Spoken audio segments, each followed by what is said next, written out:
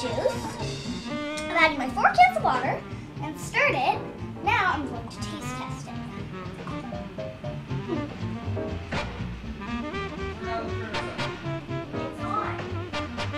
It tastes just right. Think we're gonna make lots of money?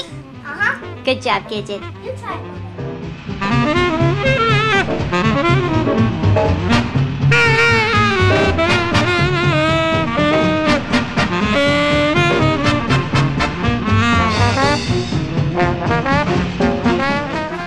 you will please give a round of applause, we have special guests, 11-year-old Sunny Keller and 7-year-old Gidget Keller to tell us a little bit about the charity um, that is involved with Alzheimer's Association, which has um, been something that's important to their family. So please welcome them to the stage.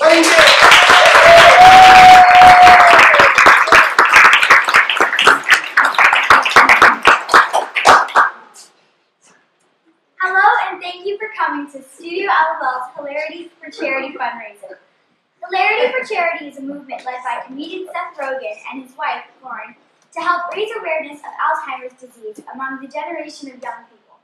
Alzheimer's is affecting the minds of both old and young. Today, more than 5 million Americans are living with Alzheimer's, including Lauren's family, our, our Nana, and more. The Studio LFL is here to change that. With the help of your donation, support, and laughter, we can conquer the evil Alzheimer's together by having fun. So thank you for supporting Hilarity for Charity And enjoy the show.